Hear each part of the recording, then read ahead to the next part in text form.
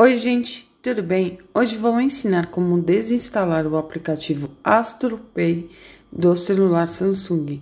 Mas antes disso, gostaria de pedir que se inscrevam no meu canal.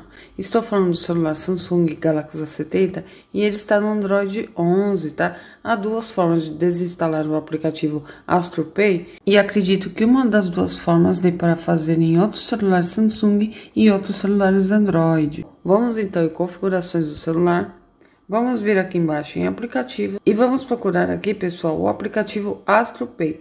Está logo aqui em cima, está em ordem, tá?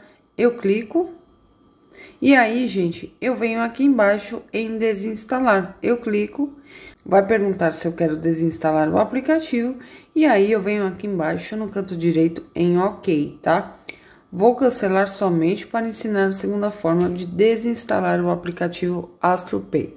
Então eu venho para a tela inicial do meu celular, clique seguro firme no aplicativo AstroPay e venho aqui embaixo neste X, onde está escrito desinstalar. Eu clico, novamente vai perguntar se eu quero desinstalar o aplicativo e aí eu venho aqui embaixo no canto direito em OK vai aparecer a mensagem que o aplicativo foi desinstalado e o ícone aqui em cima já vai sumir da tela do celular de vocês, certo?